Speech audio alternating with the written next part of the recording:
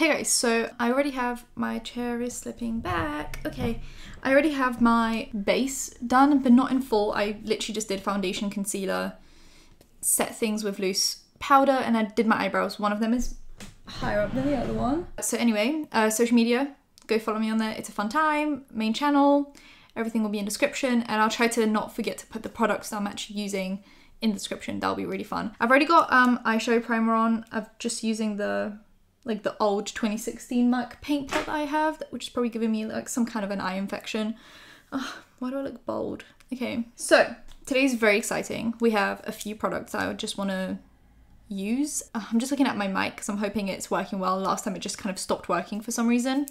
So I'm hoping this time it is. If it's not, I'm using my camera audio. So the tea is, I said I would wait with these, but then I got a 10% discount and I was like, I'm not gonna wait. So I bought myself the two Hourglass Christmas palettes. You guys know how I feel about these Christmas palettes. Oh my god, there's so much light shining everywhere. I have the last year's Ghost Edit one, which is one of these ones. It's in a bit of a state. It's kind of scratched up and dirty, but this is what it looks like. I've used up these powders completely. I am, if you look, like kind of down on the, the blush and the bronzer. This blush is a little full still, and then the highlight I've used as well. Anyway, I love this palette. I love these palettes. You can try so much, and also there's no point of buying full-size blushes because I never get through a blush. I just want to try different colors and just kind of, you know, just have that experience. This is the small palette, which I'm probably going to use for just like little trips once we start doing those kind of just weekend stuff. So it's got a finishing powder in soft light, bronzer golden bronze light, blush mood flush, and metallic strobe powder in champagne strobe light. Now, this palette is amazing, right?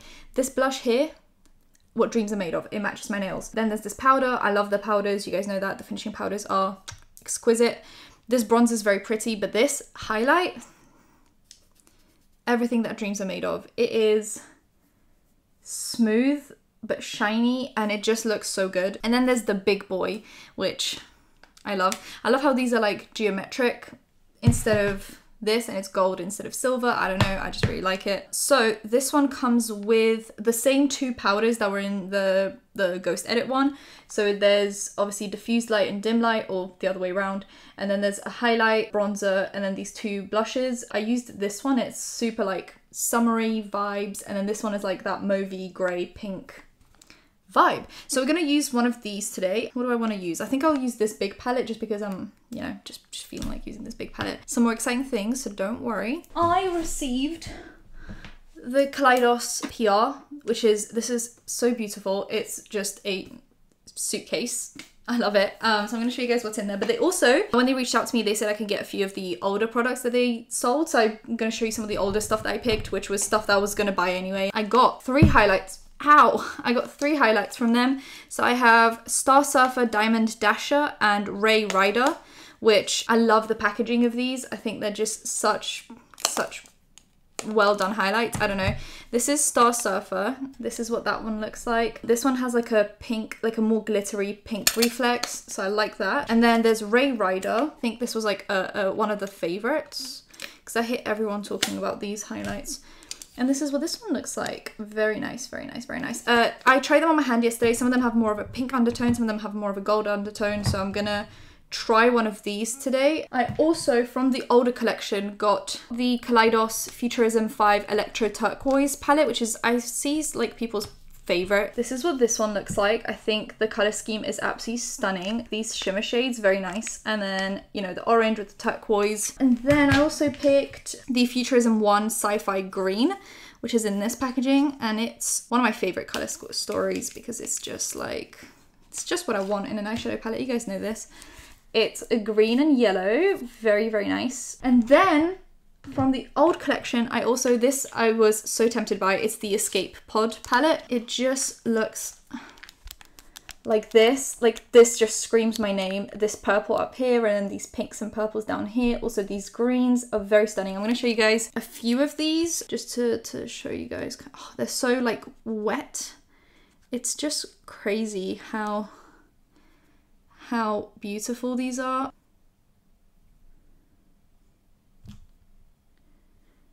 They're absolutely beautiful. I would use it today if it wasn't for the fact that we have a new collection, so I'm not going to use it today.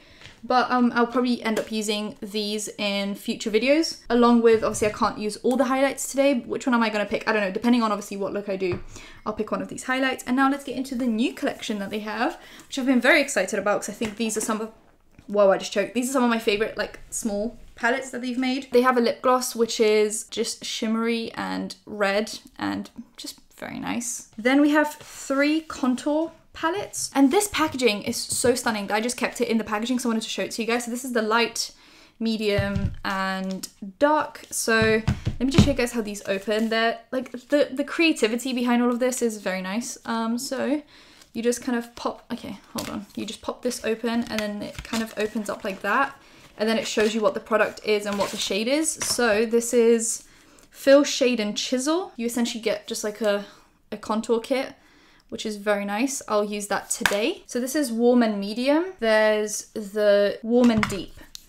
Because this is more of a um, contour kit, I can still use the bronzers from the Hourglass palette and then there's no blushes in here, so that's fine. They also gave a little bow hairband, which I think is very cute. It's like a silky material. So they came out with two of these small palettes. I'm gonna start with the Sashimi City one because, and they do the same pop out thing because this one is more of that like I guess if everything else seemed too colorful um this is probably like going to be a really popular palette for them because it, it will go with more people. So this is what this one looks like. It's just very pretty. I tried, I think it was this shade yesterday, which is like a bronzy rose gold pink. And it just switches between gold and pink. It's, oh my god, it's everything I want and more. So this one is going to be like an everyday staple, I think. I, I, mean, I've never tried this formula before, so I hope the one that like really spoke to me because you guys know how I feel about pastel shades, pinks, purples. It's just what I want. So this is this one. It's called Lunar Lavender and it is by far like my favorite. Wow. Look at this shade right here. This one, I don't want to dig my nail into it, but wow. Okay, so we're going to use this one today. If you guys thought I would use anything else, so let's start with the Hourglass palette and go into just my regular routine. I'll take a fluffy brush and then what I do is kind of mix the two. And I just put this all over. It adds a sheen back into your face while also setting your face and making sure everything on top blends better. It actually is a finishing powder, so what you're supposed to do is kind of put it on right at the end when you're trying to like blend everything together and you I can still do that sometimes. Like when things are not blended, I will just go in and kind of blend it together, but I like to use this kind of as like a setting powder because I feel like it doesn't make my skin look so dry. I don't really contour much, but I guess we can change that today. So what I wanted to do is I didn't set under my eyes with the Charlotte Tilbury airbrush finish powder, you know which one I'm talking about, one of my favorites, because uh, I always do it for more coverage under my eyes. So I'm just going to use the top shade from the Kaleidos palette. Oh yeah, this works a very similar way. See that? How much like brighter it is. I just use that to like brighten under my eyes. Wow, that is that is really nice and it didn't leave like a cakey finish. Let me just take a little more on my spots and just kind of wherever I need it. These powders tend to have a little more coverage, which is why I use them kind of on top of areas that need more coverage. I can put it down my nose, kind of on my forehead. I'm then gonna go into like a small fluffy brush. I'll go into the super cool toned and just try to like chisel my cheeks out. Or maybe I'll just mix them together. Okay, let's see. Oh yeah, this is very like light nothing crazy, which I like because um, I don't contour much and I think sometimes it can get a little bit much. So you can just kind of use this to create a subtle shadow like that. I really like the finish of these powders. They don't like create a powdery finish on your face. Very light and subtle. I really like this. I have one contour powder, which is the Kevyn Aucoin one that like Kathleen Lights used to bang on about. And I just realized that like I'm not a big fan of how contour looks, but this is very subtle. There's nothing like crazy going on. I'm just doing under my nose kind of right here and then I can just kind of very gently contour the sides of my nose right there. Very subtle, just right here. I can go up on my forehead right here. Anyway, if you're a big fan of like contouring or just adding some shape to your face, I think these powders are amazing and they come in like a bunch of different like tones. So there is actually a bit for everyone. I think I like how this looks. It looks very subtle. It's nothing crazy. I just used a very like flimsy ignore the spot. It makes it look like I just didn't blend anything. And it doesn't leave too much fallout. But anyway, I really like the powder. I think it's comparable to the airbrush finish from Charlotte Tilbury when it comes to using it under your eyes. And these two aren't too cool toned, not too warm toned. They're just right and they're very subtle, so they're very easy to blend out, but they create that depth. So I really, really like that. And I love the packaging of these products. I think Kaleidos has one of the best like vibes. It's just very like futuristic, just very, I don't know, it just feels very nice. I'm gonna go into the Hourglass palette and use the bronzer. These are some of my favorite powders. You guys know that I've been banging on about the other palette for a while. There's like nothing new. The quality is always amazing. I don't think I've had a single Hourglass like powder product where I was like, oh, this isn't nice because the quality is always there. They always blend well and they're very buildable. Like you can really, you know, make it very pigmented or you can go in very lightly. Then, uh, so I used this blush already, so I kind of want to go in with this Mauvey one right here and just see how that looks.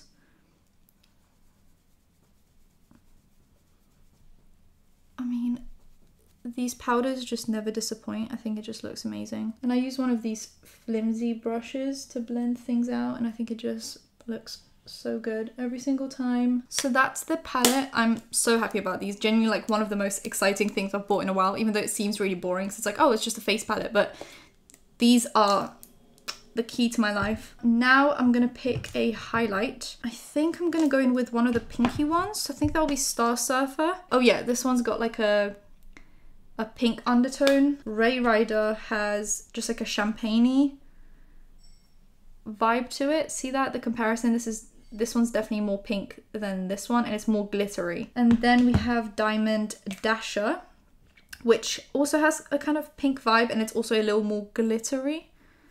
So it's it's right here. Oh yeah, I'll use this one. So that's that one and that's that one. This one's definitely the pinkiest. So I'm gonna go in with Diamond Dasher today. Okay, I'll take one of my Sigma Soft Blend 50. I don't know how much I need. Probably not a lot. Oh, these are stunning. This definitely has like a pinky undertone. It's very nice. Oh my god.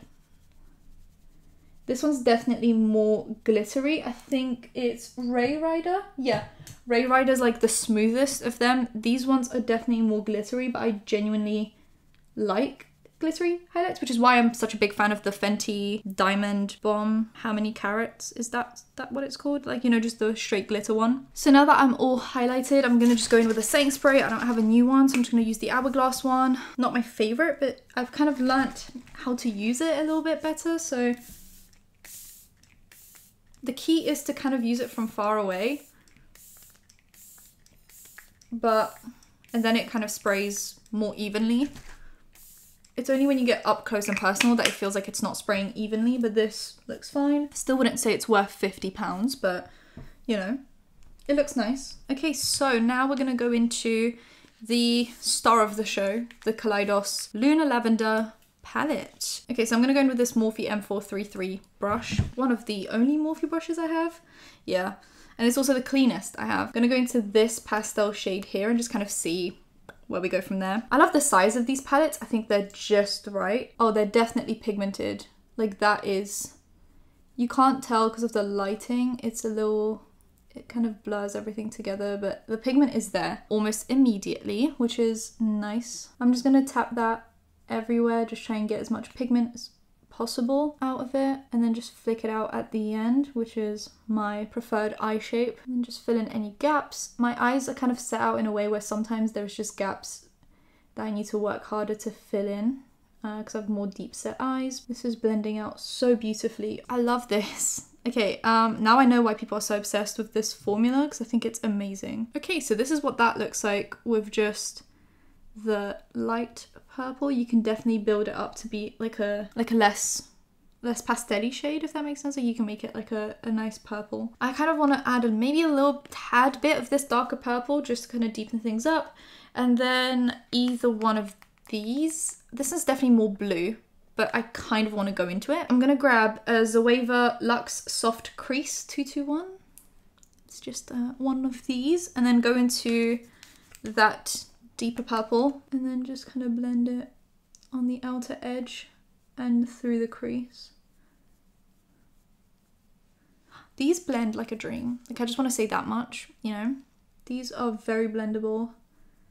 I don't know what I would compare the formula to. What have I used that's kind of similar to this? Maybe a little bit of like Odin's Eye kind of a thing. Like it's giving me like good quality indie vibes. Just like a bunch of my favorite formulas in one. This is so easy to blend out as well and it's, you know, it's not the easiest shade to formulate or use and you can essentially just apply this the way you would like a, a nude natural shade. Also there is zero fallout so that's incredible. Just making sure everything is even. I want to make sure there's a little bit more purple in the outer corner, kind of up to the halfway point on my eye. Okay, so that is kind of where we're at with this one. This looks so much more blue on camera than it does in person, but I guess it does like a switch. So it's purple and then it's blue. See from far away it's blue, but then up close it's more pur purple. This is such a stunning shade. From here, it looks like a glittery version of this but to you guys, it looks blue. But now to me, it looks blue as well. That will be an interesting shade. I'm to put this one all over the kind of inner half and then I'm to probably use this one in the inner corner and I think that will be a good a good combo. What I'm to do though is take the old brush and kind of go back into that pastel shade just a little bit and then graze the edges and pull that color up a bit because once you apply shimmery shades sometimes I realize that like I, I didn't apply the color high enough so then it ends up just disappearing so I kind of want to add a little bit more of that pastel back because I don't know how these perform I'm just going to use my favorite method which is uh, my Revolution glitter glue I use this for everything. I'm just going to take a little brush and then cut the crease with that. You guys know the drill if you've been here a while. After I've done that, I'm going to just go in with a brush and then just apply it onto the glitter glue. Oh my god, yes. Guys see that? That is insane. I love this shade so much.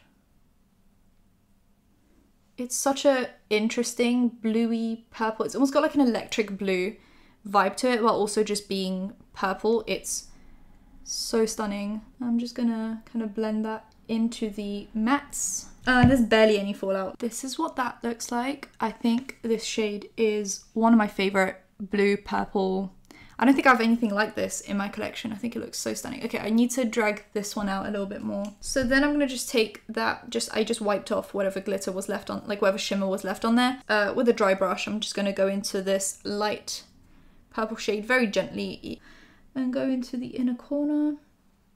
Oh yeah, that that's such, it kind of goes well with the highlight is what I've realized. I think I'll put on the brow bone as well, but just tap it off and just very gently graze the brow bone with that. Okay, I'm gonna just take like a flat brush and go into the deeper purple. Uh, just go straight into the deeper one. Oh, that is pigmented. Oh my god. That's crazy. And just do the the same on the other side. And then uh, what I'm gonna do is take the M433 brush that I used for the pastel shade and go into the pastel and then just graze it on the edges.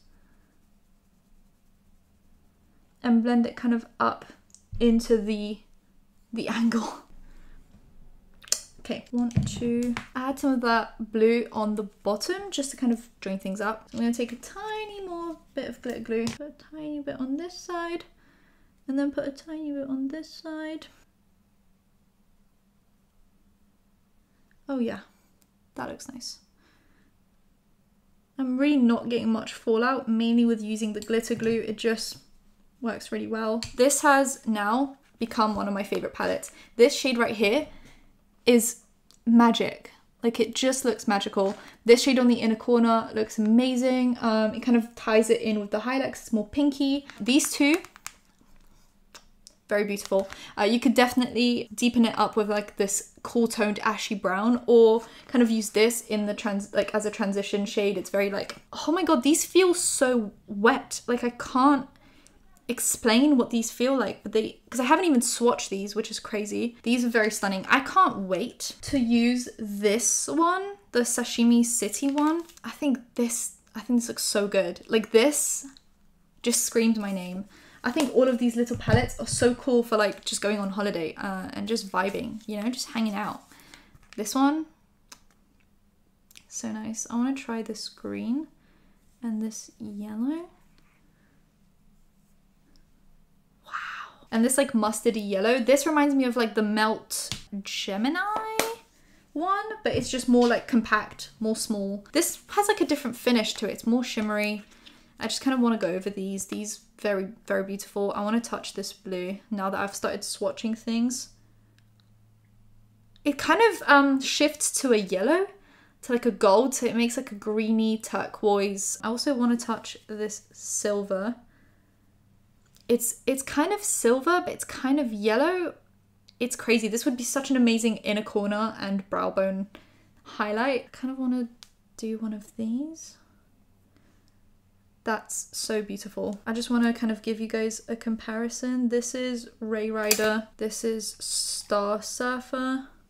And then this is Diamond Dasher. You can see the difference between the three. And I know they have some crazier shades and I kind of want to try those out as well. So I might just buy a few. I know they have like a blue, like a hot pink. I want to use the gloss. I just don't know if it's gonna, is it gonna go with this look? If I do it very lightly, I'm just gonna go in with a tiny bit of this it's called a Lucid Lip and it's in the shade Dramatize. Very nice. It's got just like a doe foot applicator Oh my god, these are very nice. It's not so crazy that I, I was scared it was to just be like straight red. I actually prefer more sheer lip glosses because I just think they, they go with, they just go with more looks. It's not sticky or anything. Uh, I like the doe foot. It's long, but it's more like precise. So you can really get all up in there. And this is what it looks like. Very nice. It's such like a Your Lips But Better shade. I'm just using the Pat McGrath mascara. I finished the Hourglass one. So this is the look for today. I just think everything looks so beautiful. It's just so like mm, I can't explain it. It just looks so good. Anyway, I love the lip gloss. I love obviously the Hourglass palettes. They're incredible. Like genuinely one of the best deals because Hourglass is so expensive full sizes of blushes, bronzers, and everything else is about 40 pounds, 45 pounds ish. You never really go through a blush or a bronzer. You might go through these powders, so that's the only thing you'd have to repurchase. But just in general, like having this variety is so good. Two blushes, one bronzer, one highlight, two powders. You have the variety and then the four pan one is even more affordable and then you can kind of just try one blush, one bronzer, one highlight and one powder. So if you're buying from the Hourglass website for the first time, you can just do like the welcome 10, I think, like if you sign up or just use someone's code, that kind of a thing. And then you can get 10% off of these. So then, you know, you get them for much less. I think this one is about 70, so then you'll get it for 63. For six products, that's essentially just like 10 pounds for each mini size, which is such a good bargain because these are usually much more than 10 £10. And then I think the smaller one is about 50 or 40 and then you can get on 10% off as well. If you guys enjoyed it, give it a thumbs up, comment down below anything you want to comment down below and subscribe because I post videos every time something comes to my head and I want to do it. So that bell, you'll be notified when that's happening. Social media links, main channel, affiliate links, any other links in description. I'll see you in my next one. Bye guys.